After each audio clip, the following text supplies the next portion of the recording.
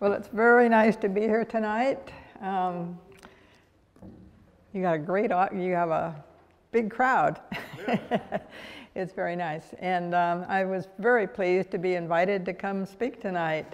Uh, you know, I still feel like part of this area, even though I haven't lived here for a long time. And the desert will always be my kind of place. And that's what you people have. So this, this is the book we've written, and my sister and I wrote it together. And I, am sorry she's not here tonight. She would have enjoyed seeing you all. Um, but it's a book that is about a family that moved to independence during the Depression, my family. It was 1935, a very cold November, and we came from North Hollywood and our friends and relatives down there called this place up north. And when my parents came up here, they called North Hollywood down below. so it was kind of adventure. You know, this, I don't know, you probably, you probably all know when um, Highway 395 was paved, but I think it was maybe about five years earlier, uh, probably about 1930. So it was a real adventure coming up here. Um, it wasn't freeway like it is now. And so we came uh, on a cold winter day, and my dad had gotten a job with the city, and that's why we came. It was for his job.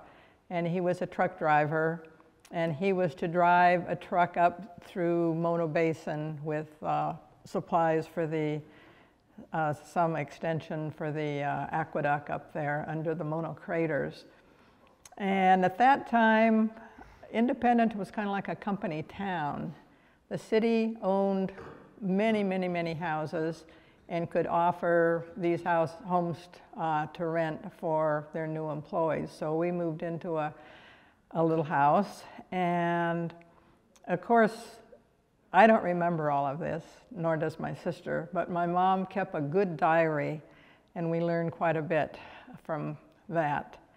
And when they got here, uh, they were just really struck by the, the rugged mountains, the desert. It was so different than North Hollywood. And so they, but they thought, and she wrote in her diary that first night she was here that they had moved up here and they intended to stay two or three years and gain a lot of information about the area and learn some new things. And they didn't stay for two or three years. They lived here the rest of their lives, long lives. My father died at 96 and my mom at 91. So they really fell for this place, and we were raised with the attitude that we got to see everything. This is wonderful. They really appreciated uh, everything they saw. So, and my dad got very interested in fishing, fly fishing, and my mom got interested in the plants quite early on. But they were very busy, and it took them five years to finally get over the crest of the Inyos on a pack trip.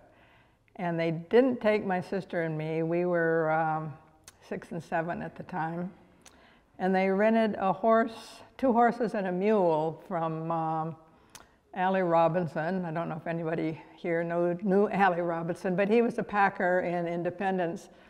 And he let them take these animals like uh, they don't let you do today because uh, you know they want people to know how to take care of them. And my dad was a city boy and he didn't really know much about it. But they had a glorious time and they came back. They were gone a week and they didn't invite us to go because we had been invited to visit our aunt who lived in Vining. So they got back and started planning their next trip immediately. and so the next trip, they went for two weeks and took one horse and two mules and, and again had just a great time. And I remember looking at the maps with my dad, and I still know everything about those trips that they took, even though I wasn't there, and I was only six years old and seven years old. Well, on the third trip, um, oh, the second trip, we were invited to visit our aunts. again. And the third trip, uh, we stayed with some people across the street because we had to stay home and feed the rabbits. The war was on, and people were either raising chickens or rabbits for meatless or for you know for meat, and uh, so we had to stay home and feed the rabbits and water the lawn. But on the fourth trip, they took us, and it just was wonderful. And we every single family vacation after that, we went to the mountains for two weeks. So they Inyos or the far beyond the Inyos? Always, always the uh, Sierra. Yeah. Hey, and everybody, please ask questions as we go along. so um, that was that was our vacation, and we we all just loved it. And we'd come home after two weeks and walk into the house, and the floors were too smooth, and the walls echoed, and it was um, an experience that we just loved, all of them. So, in addition to that, um, they got interested in other things. My dad um, was only a truck driver for a couple years, and then he had a job in the city office in Independence. And he liked that because he could come home and work in the yard after work. We lived, by then, we'd moved to a different house. It was a little house on two lots, and the yard was gorgeous, and I always thought it was the most beautiful yard in all of Independence. The front half was lawn with big locust trees and a fish pond, and there was a creek flowing through the back corner of the yard, backyard, and the backyard was all gravel, and we could go out and dig holes. And my dad, you know, he was very fussy about his lawn, but we could dig holes in the backyard. And we were quite content. We played in the creek and all of that. And then, but we couldn't leave the yard until, um, I don't know what age, maybe four and five. And then we could go out the back gate, not the front, because we were on the highway, 395, and so we couldn't run out there. So we went out the back gate and we could run around in the sagebrush. We could play in the creek. It was just a wonderful life. and um, then as we got older, uh, Joanne got a bike for Christmas when she was six. So then we could take turns riding around town. So we went farther and farther on that little bike. And then eventually, and then we were running around up the creek. Our places to play were up the creek, down the creek, or out in the sagebrush. And when we could finally move farther from home, we did it on the bikes, and we eventually got horses. When we were uh, young teenagers, we got a horse. And Joanne had been begging for a horse for some years, and I didn't join her in that because she was considered the sensible child. I wasn't. and so I thought she'd have a better shot at it. So when we were 13 and 14, we got a horse. And it was a great story because um, about six months later, she had a cold. And when we heard that she was pregnant, uh, the man that was putting some horseshoes on her one day said, uh, Hey, it looks like she's going to foal in a, about a week or two. And we said, What?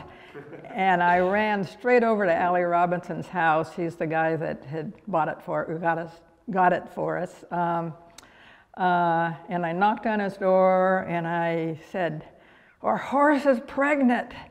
And he said, Oh, I suppose your dad wants his money back. And I said, What? Why would he want to do that? So we then had another horse. And that colt was born in our backyard, and that was really a special thing to have, a, have your horse uh, born in your backyard. My dad was really good about making a little corral back there, and he, he always helped us with all of that. And so we had that horse, the second horse. And after it was trained, then Joanne and I could both go riding at the same time. You know, it took a couple years. And then a couple years later, when we, we used to leave the horse out in pasture in the wintertime because it was too cold to ride and we didn't really have time with school. And so one of these years later, um, we went out to get the horse in the spring and she had a, a little colt, a tiny little colt. And my dad said, Well, that's enough. Uh, we, we're going to, and, and then my sister was about ready to go off to college, so we got rid of that, of, of my horse, and, yeah. Horse named Silver, is that the horse that was it? Oh, no, Silver was a mule.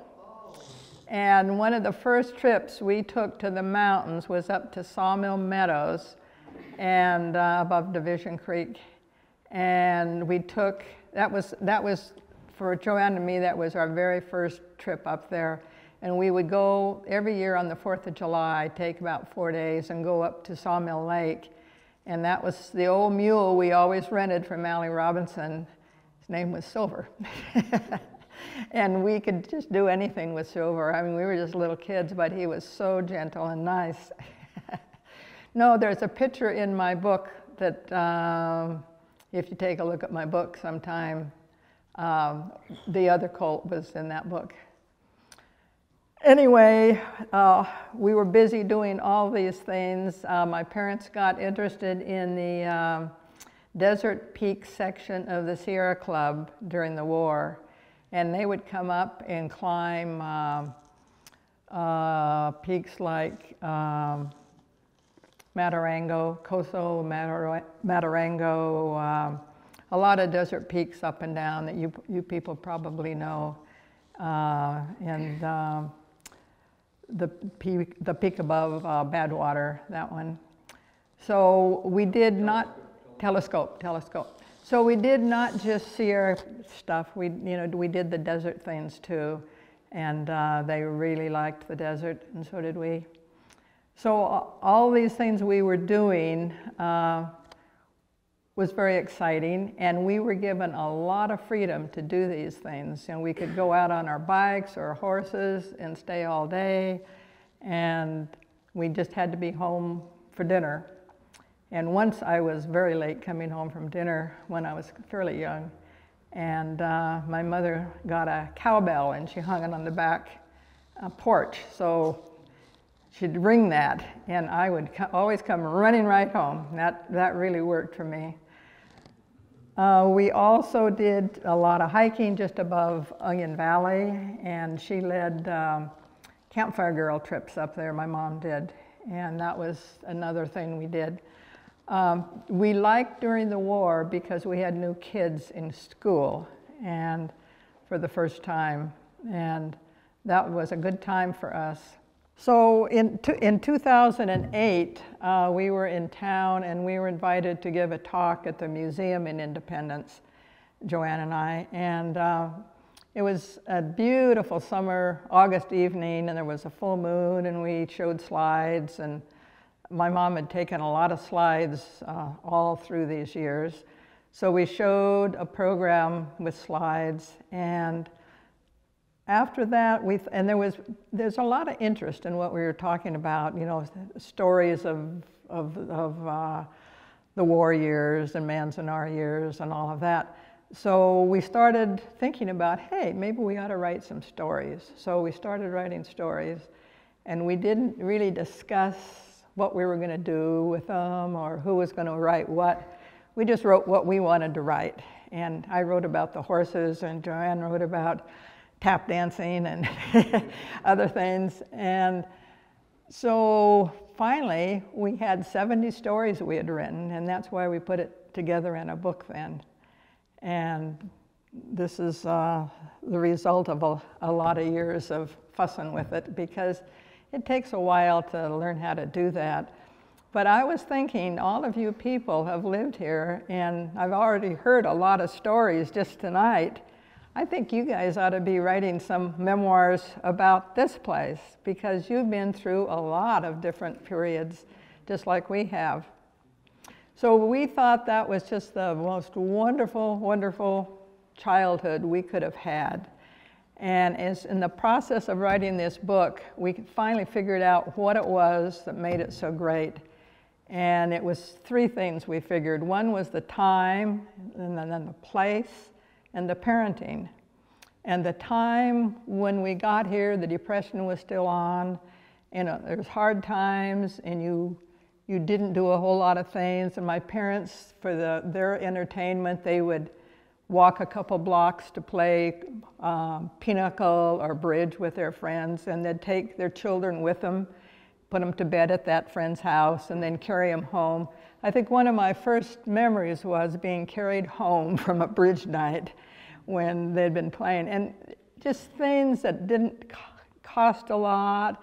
And during the war, when rationing started, um, uh, we, you know, we did so many things just locally that we, you know, we had so little gas coupons, we couldn't go down to Los Angeles to visit very much.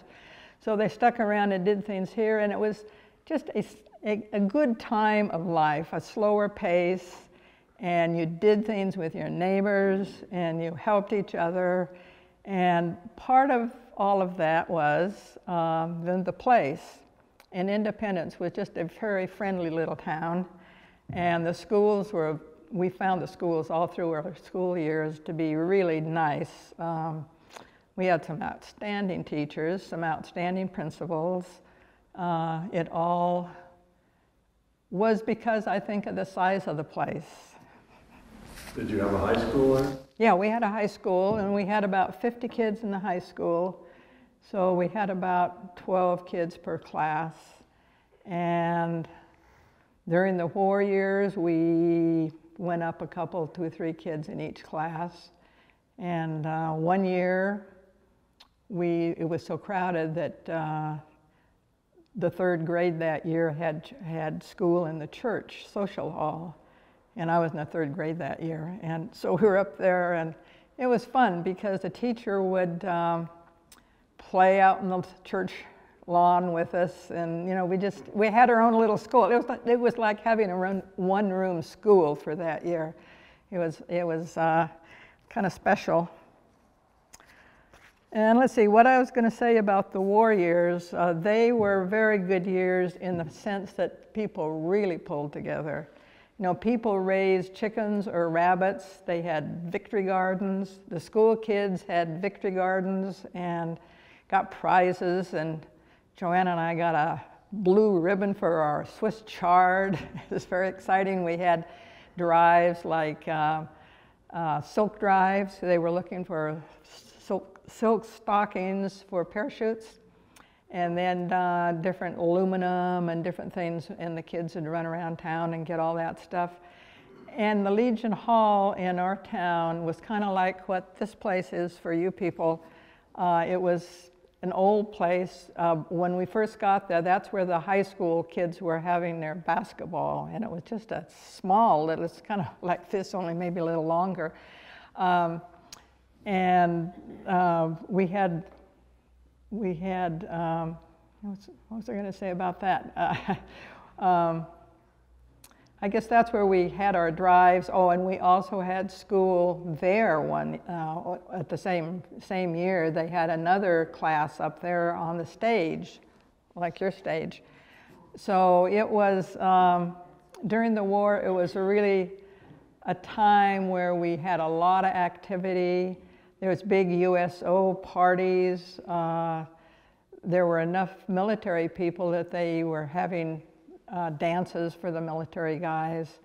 My mother joined the um, junior garden club when she first got there, and there was also a senior garden club. I don't know what they did, but the junior gar- um, garden club, uh, I wasn't in school yet when she would take me to the meetings, and I could see that they weren't gardening, they were planning parties, parties for the soldiers and parties for other events there in the Legion Hall. That was our big place at the time, and it still is, I think. Um, and of course, Manzanar was a time during the war that wasn't so nice. You know, it was very, a very bad idea. But um, we, we didn't get involved in that, but we always noticed that when we drove to Lone Pine, it was there, and those searchlights would be going back and forth. And yeah. Uh, and, and I just, I don't want to be rude. Can I ask, how old are you and how old were you when you moved to? Okay, I was three, uh, uh, I was two, my sister was three, and now we are um, 85 and 86. so so uh, we're, we're lasting pretty well. And we, uh, you know, we've uh, backpacked together uh, all these years. After, um, after we moved away, we used to come back with our own children and go to the mountains. And I think the most recent hike I've done with her here was just not too many years ago. We hiked up to Winnedumah one day. Oh, well, we took two days actually. and so uh, we did a lot of a lot of things over the years and around here, and it uh, usually involved hiking. Well, I think I'll, I'll start reading a couple stories. And you can't believe this, but of all these stories, one of the stories is about Ridgecrest. And I didn't just write it because I was coming here. So I'm going to read you that little story. okay, this is entitled The Year We Played uh, Football. For the first time in its history, Owens Valley High School had a football team you know, uh, Lone Pine High was Lone Pine High and Big, Big Pine High and Bishop High, but for independence, our, our school was called Owens Valley High School. And I think maybe that was because it was one of the first schools here. I don't know, but that's kind of what I thought. Anyway, I was in the eighth grade that year, but because the seventh and eighth grades were taught in the high school building, we all felt like we were in high school. The new school principal was also the boys' PE teacher. I wondered if he had visions of becoming a great football coach. Although it was a six man team, the 11 boys from the 10th, 11th, and 12th grades were not sufficient for a scrimmage. The, fourth, the four ninth grade boys were too small to play, but all the others were drafted regardless of their interest in the sport. The mother of the brainiest boy in the high school commented, The last thing I ever expected was that my son would be needed on a football team. Did any of you people know a Doug Elliott that used to work here at uh, the research place? He was that boy. Sheldon Doug Elliott. Sheldon was the dad. Yeah, he was the uh, dean of the law school. And during the war, he moved his family to Independence because he was afraid the Japanese would uh, bomb Los Angeles. Is that where most of the new people in the school came from? What? Oh. Were they moving out away from the coast? Uh, no, I think the Elliots were the only ones that did that. Uh, but there are others that, uh, during the war, the um, uh, Compton, Compton Junior College taught a pilot program here. And several teachers from there moved up and were teaching, uh, the, teaching the, the, boys to fly on the in, in the Independence Airport, and they were having night classes about weather and different, uh, you know, associated things uh, at night. And so that's where some of those people came from. Anyway, back to uh, the football. The playing field behind the high school was watered until there was a bit of grass among the weeds and gravel. The boys were expected to call the new principal coach, which reinforced my opinion that the football year was more for the coach than it was for the boys in the school. Our first game would be against Ridgecrest, a town about 100 miles south of Independence. The team left for the game with handsome new uniforms, black pants, and a big OV on the front of their orange shirts. They had plenty of spirit and some amount of confidence. The school bus had room for the, for the team, cheerleaders, a student cheering section, and a few teachers, and the band. I was the flute player. As we began the long ride, Mr. Blaisdell, the new science teacher, asked, how many of you are, can whistle loudly? A few of the statements, a few of the students could, and the rest of us were eager to learn. Perhaps hoping to enhance our cheering section, he showed us where to put our two little fingers uh, in a V on the end of our tongue and, and said, Blow softly at first till you get the hang of it. By the time we had practiced all the way to Ridgecrest, we were loud. It must have been an unpleasant two hour ride for the non whistlers. Some were trying to do their homework. When we reached Ridgecrest High, we realized right away that it was far lar- a far larger school than ours. Their football field had green turf and expansive bleachers. Our home field had neither of those amenities, and our busload of supporters filled a tiny portion of the visitor section. It was one of those sparkling, crisp, and clear autumn days, and we were bursting with enthusiasm. Our tiny band played with gusto. Then their sizable band played. We cheered and whistled when our 11 players ran onto the, onto the field in their dashing new uniforms.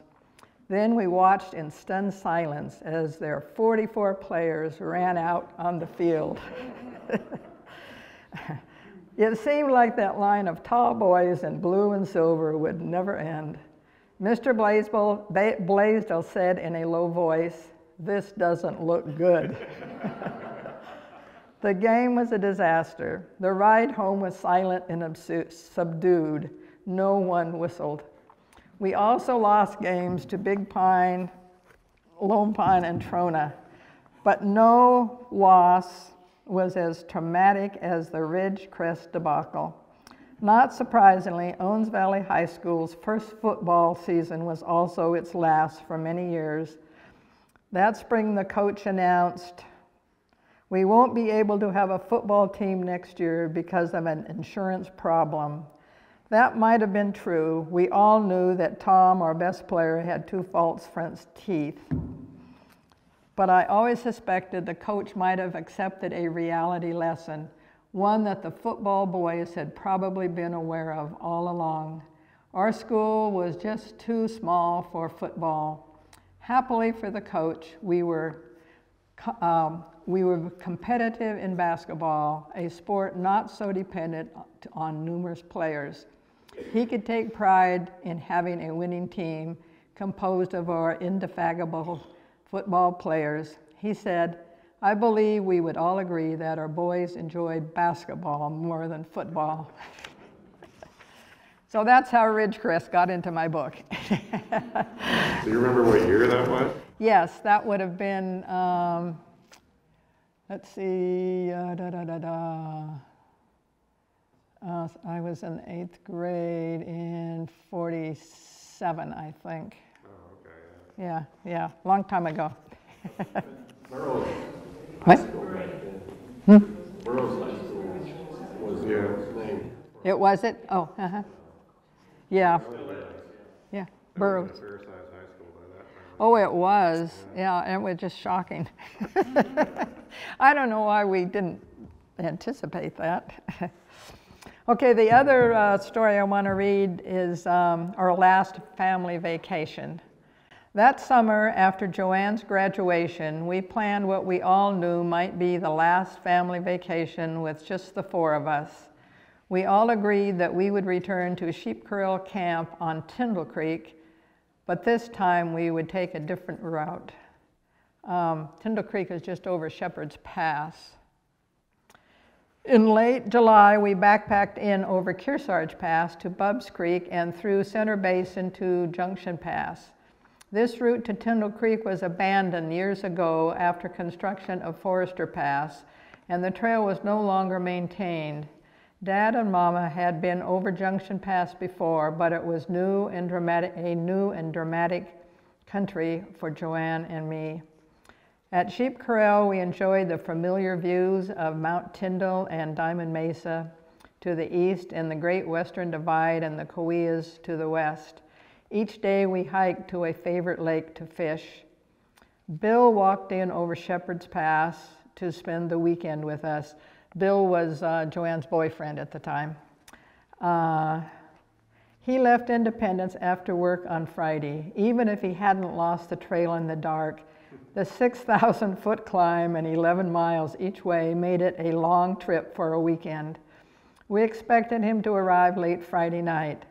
Joanne slept lightly, and when she saw the light in the distant in the direction of the pass, she woke Mama.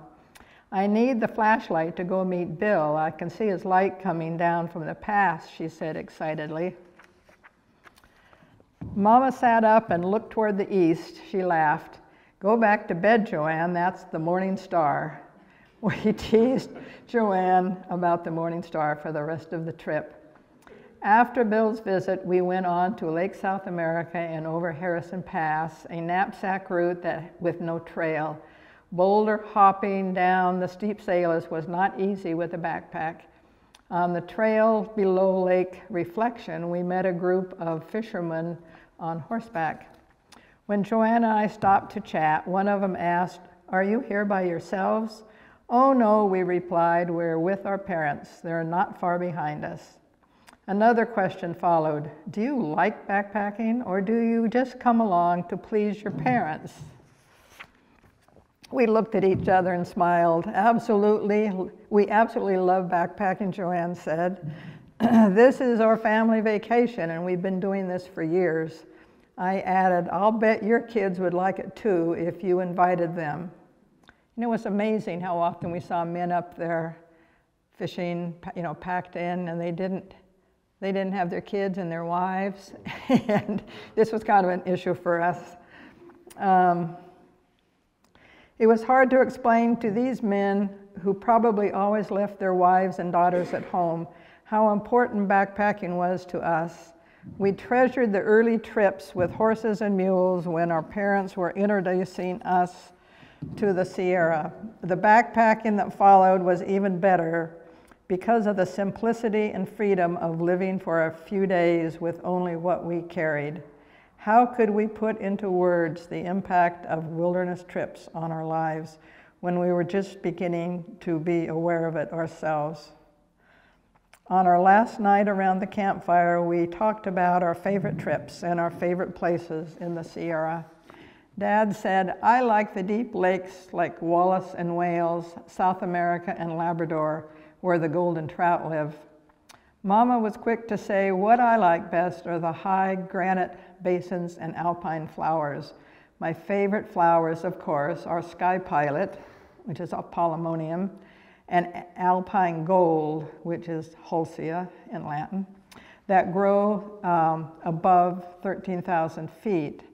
I didn't need to think about it. My favorite thing is the view from the top of the pass or a peak. Joanne added, I have no favorite lake or flower or place. I love it all. How could I possibly choose? At the time, we valued the experiences we had with each other and the knowledge that we shared and appreciation for it all. But Joanne and I didn't know then how lucky we were to have been introduced to this sort of family vacation. And none of us knew at that that the beauty, the vastness, and the solitude of the wilderness would be embedded in our hearts and minds forever. So, those are two of 70 little stories. and uh, we um, organized them chronologically, and we have a lot of pictures. There's 70 pictures. So, that's. Uh, that was it. And I, I do think that you people living here where you do, for as long as some of you probably have, and just hearing the story about this building, uh, there's a lot of stories here. Any questions? No. Yeah. I was born in Cartago Oh, in 1927, oh my goodness. Oh, you've got a lot to tell. and I moved to Trona when I was nine months old in 1928, and I've been there ever since. wow. A long time. No moving around. No moving around. So you've been in Trona all that time? Yeah. Good. Yeah. Can you say more about your mother's uh, botanical work? Okay. She, um, right away, she got interested in, she used to take us up to the courthouse, to the museum there. And she'd go in there, the museum used to be in, in the basement of the courthouse. and they had a collection of dried flowers, and she would look at those, and Joanne would say, let's go, mama. and, but my mother would look and look and look, and then she started uh, being really interested in trying to identify them. And you probably don't know of a Mark Kerr used to live in Independence. And he was a guy that did a lot of um, historical uh, uh, stuff on the Shoshone Indians and knew a lot about plants. And so he helped her find some books to, to, that she could order. And uh, I remember she spent, I think it was $3.50 on one of those big books. you know, that was a shock in those days.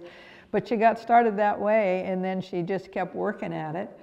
And by the time that, uh, you know, toward the end of her life, um, she had lots of people coming here, botanists coming, looking for a certain plant, and she could go take them to where this plant was, and ha- just had a lot of uh, interest in what she was doing in her plant collection. Then she, she dried, she, she pressed plants, and my dad made uh, cupboards in the garage to house all these specimens. And before she died, she, uh, she gave those specimens all to a botanic garden down in Claremont, California. And it was a big collection and all very nicely identified and all of that. And of course, she wrote a lot of things about, stories about the plants. And um, then later, she started uh, really working on environmental issues like the water and like helping Owens Lake mitigation for Owens uh, Lake and things like that.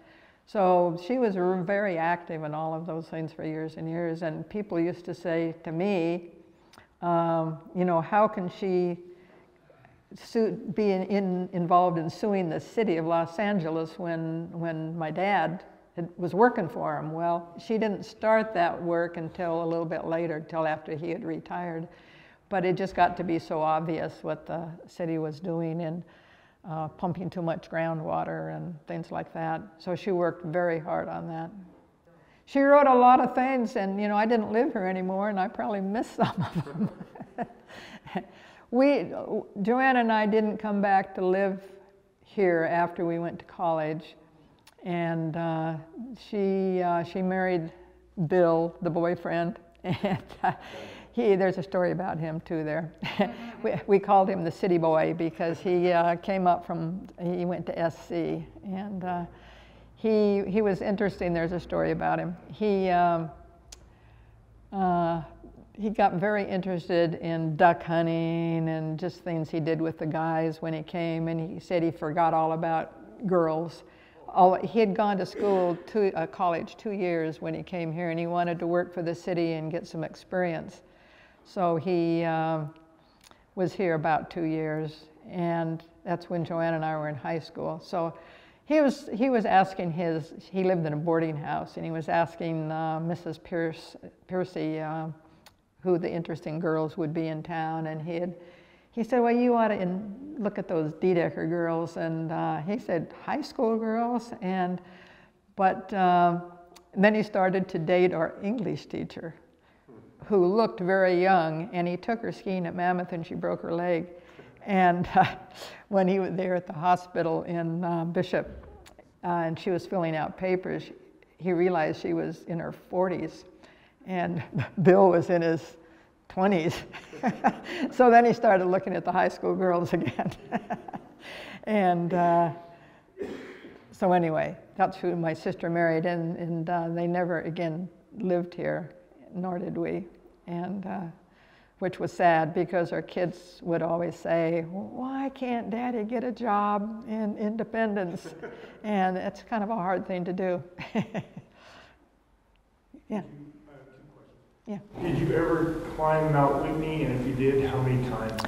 Uh, I think it was four times. Yeah. And the first time was when, uh, let's see, I think I was in the seventh grade. And we had just been, we had just done the first half of the John Muir Trail that summer, so we were pretty tough. And uh, uh, um, we had a friend who was a mountain climber, climbed a lot of peaks, and he was visiting us, and he said, "Hey, I've always wanted to climb Whitney in the moonlight. Let's go do that." So we did, and that's another story here. it was very cold, and then um, just before I left for college, do you, any of you people know uh, Bruce and Elsie Ivy? What's the last name? Ivy, I-V-E-Y. Yeah, they had an auto parts store. I don't know whether they had one here. I, they had one in Trona for a while, yeah. Um, she grew up, she was my best friend in high school. There's stories about her in here too.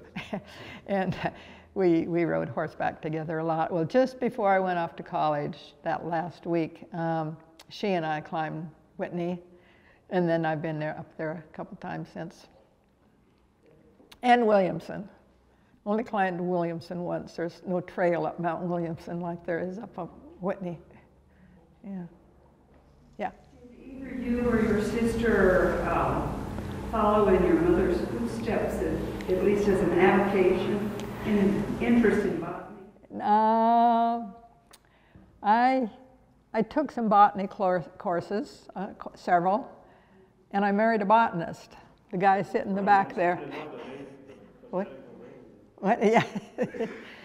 the, um, uh, yeah, I was interested in botany, but I, that wasn't my major. Yeah. I majored in zoology and chemistry. Yeah. Does the house you grew up in still exist? Yes, yeah. It's um, when you go in, into Independence, you pass that stone building on the, that was uh, uh, OK Kelly's garage at the time, and then there's a couple vacant places, and then there's a motel, and there's a vacant lot, and then our house. Oh, uh, or is our house still there? Yeah, and it looks terrible. And I've only been in it once since we left, and um, it uh, looked fine inside, except it looked so small. Everything was miniature. it was a little house, and we uh, it had two bedrooms, but the bedroom Joanne and I shared had one, two, three, four window, four, uh, four doors into it, and one window, and they were tiny. And I ended up sleeping most of my life on the on the screen porch. Well, it got glass windows, but on the on the porch.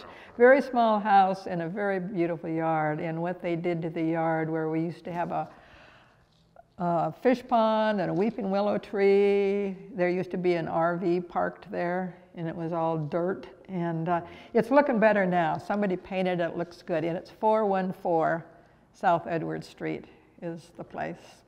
Edwards is the main street? Edwards is the main street, yeah. And at the time, uh, we had that creek running through the backyard, and it had a uh, plank bridge over the creek.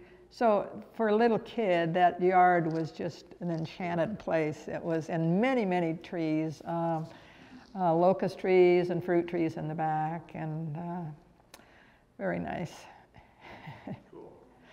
okay, well, it's been nice to talk to you all, and I, I think you ought to get busy and write, you guys.